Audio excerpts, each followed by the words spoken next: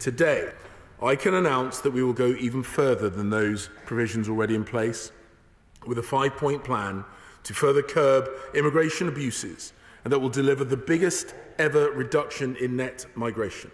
In total, this package, plus our reduction in student dependence, dependence will mean around 300,000 fewer people will come in future years than have come to the UK last year.